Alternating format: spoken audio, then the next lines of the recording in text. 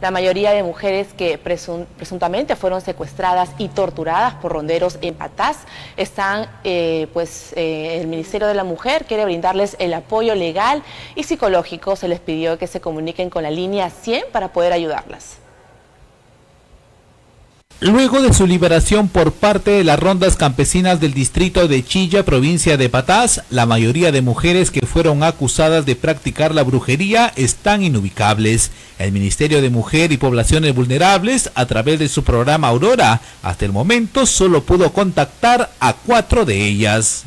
Hemos podido ya eh, dar con dos de las víctimas, hemos ubicado el día de hoy temprano a una tercera y eh, me informan que ya hemos logrado tener contacto también, me parece, con una cuarta víctima, estamos todavía esperando el reporte y comprenderemos de que las víctimas en el momento que han sido liberadas se han dispersado. Por eso nos está siendo difícil de repente poder ubicarlas. Patricia Garrido reveló que las mujeres que contactaron recibieron atención médica, pero a la fecha ya no están internadas en un hospital. La funcionaria afirmó que están a buen recaudo y recibirán el apoyo que necesitan para superar el difícil momento que vivieron. Contribuir con el acceso a la recuperación emocional de las señoras, así también como la atención física, su protección ¿no? Y también el acceso a la justicia, ¿no? Son los tres objetivos, estamos trabajando precisamente para ello. Hemos tenido la oportunidad de conversar, está un poco más tranquila, aún obviamente con la afectación que ha generado estos hechos, ¿no? Hay versiones múltiples. Eh, ¿Han sido torturadas o no estas mujeres? Bueno, eso está, como sabes, en investigación. Nosotros estamos atendiendo a víctimas de violencia, ¿no? Nosotros estamos atendiendo por violencia a estas señoras. Las personas que fueron retenidas por las rondas campesinas pueden comunicarse a la línea 100 para recibir el apoyo de parte del Ministerio de la Mujer y Poblaciones Vulnerables.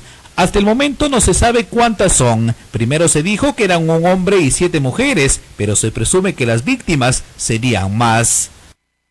No tenemos una data exacta, ¿no? Porque las víctimas con las que hemos podido conversar, ellas no han logrado identificar a todas las personas, no las conocen, señalan a todas por eso es difícil establecer un número exacto, ¿no?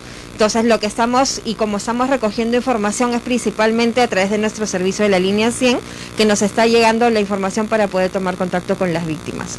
Efectivamente, pero ya no están ya ellas en el distrito de Chilla o Patas o sí. Tenemos entendido que ya la mayoría, ¿no? Al menos al momento de la liberación se han retirado, ¿no?